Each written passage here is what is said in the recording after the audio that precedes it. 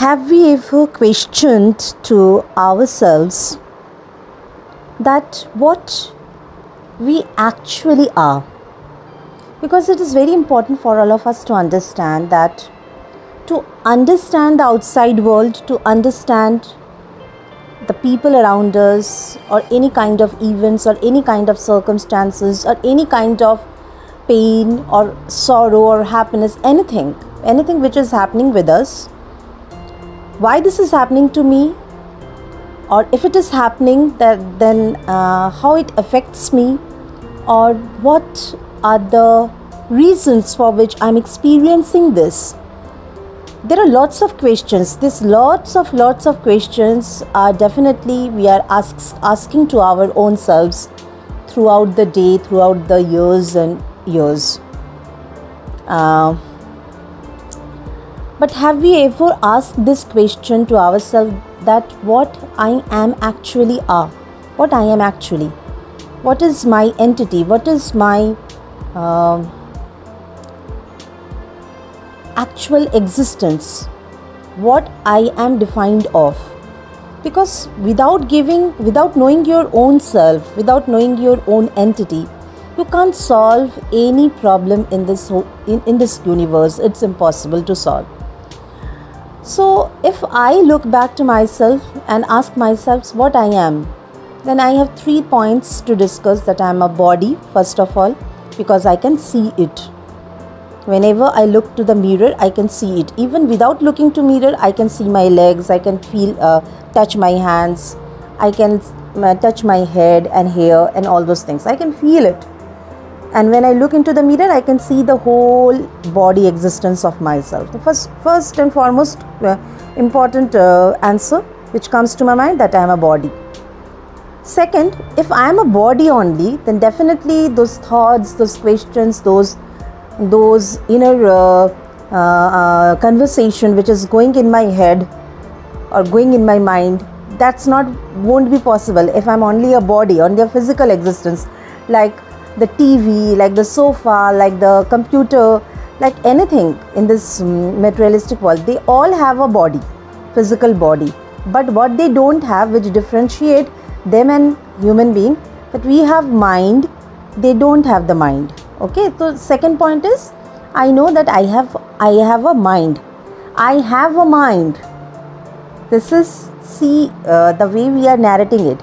I never say that i am a mind i have a body i never said or we never say that uh, we are a body we said we have a body we have hands we have legs we have uh, whatever hair and all those things we have, then who we are.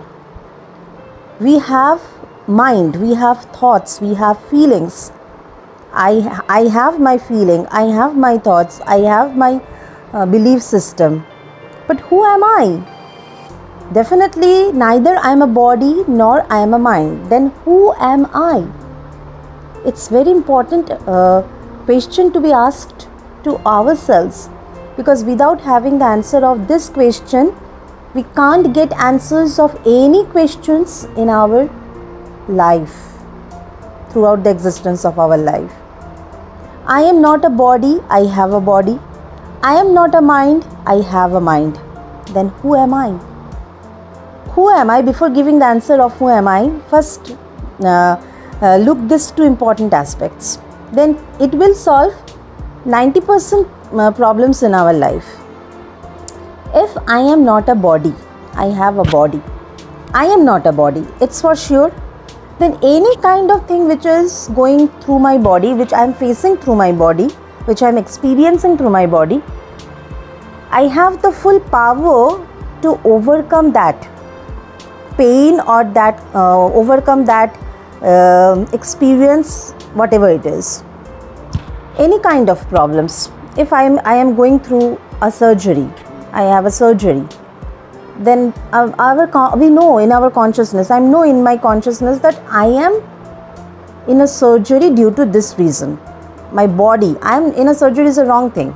My body is in surgery due to this reason. My body is going through a surgical experience, whatever it is, it is going through due to this reason and as i am not a body then this surgical pain will not affect me entirely it can't affect me because it's only a body and it will recover as the time goes on when we have this consciousness then any kind of things any kind of experiences we have faced in our life that will not affect us that can't affect us Similarly, in the second uh, stage, if I have the consciousness that I am not a mind, I have a mind.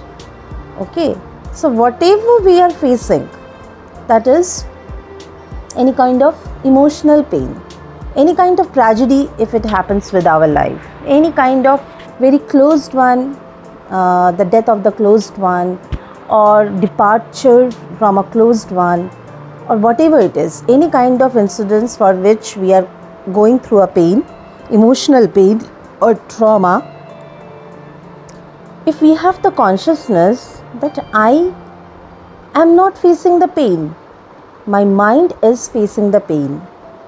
Okay, and the pain is temporary. It's not because because as I am not the mind, as I am not the body also, similarly I am not the mind. I'm some some something else which we will define later.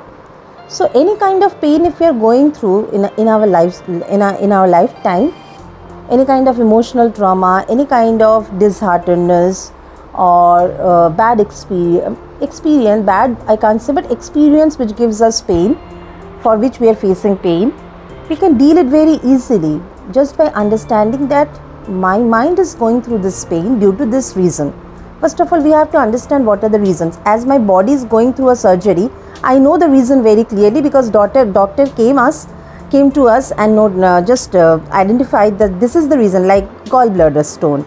I have a gallbladder stone surgery few years back. So doctor noticed me. Okay, go the ultrasound uh, and, and from the ultrasound report, it came clearly that you have stone in your gallbladder. You have to remove it. It's very very clear to me that I have this problem and how can i get rid of this problem if i do my surgery or I, I have to take medicine for a few months and then i have to go through the surgery i will definitely recover it it's very simple and easy in case of the body but in case of the mind we don't have such kind of transparency even today we don't have understanding even today that my mind is facing.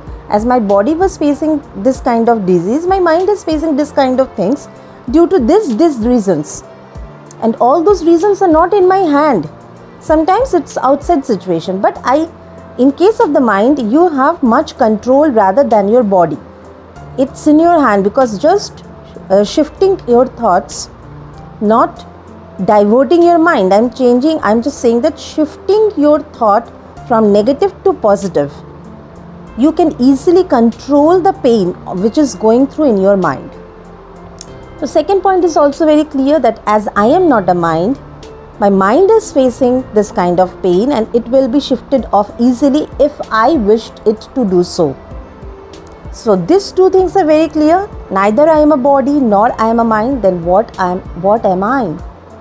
Third point come and which is the most important point that what am I? Who is noticing the mind and body? These two things. Then the answer is soul. I am a soul, a being here it comes the soul consciousness and if you are on on the journey of your soul consciousness then it's it's very very easy for you to handle any kind of situations which is which you are facing in case of your mind and body because only these two things anything which you are facing in your mind with your emotions, with your thoughts, that gives you pain, or any kind of physical disease or physical uh, any, anything happen with your physic, with your body. Maybe that is surgery, or maybe that is any disease or anything that gives you pain. Except these two things, nothing can give you pain, nothing can give anybody pain. So, how to uh, be on the journey of the soul consciousness, how to increase uh, your soul consciousness level, how to work on that, how to make yourself aware that you are a pure soul, you are just be a being. which is oneness. That is the main motto of my channel, and I just, as I'm also the journey of this soul consciousness, shifting my thoughts from mind to soul. It's a beautiful journey, and uh, our purpose is just to ascend with the universe, uh, with the soul consciousness level so definitely i will definitely uh, discuss this soul consciousness also in my next video. And till the till that we are just have easily understand in, uh, in today's video that neither we are mind nor we are body. It means that neither we are emotions or thoughts nor we are the appearance or look. So these two things anything which happens with these two things can never affect me. If it is clear, then 90% or 95% problems will be solved in our life. Take care, all of you. Be this journey with me. Hope we will ascend together. Thank you so much. Love you all. Bye bye.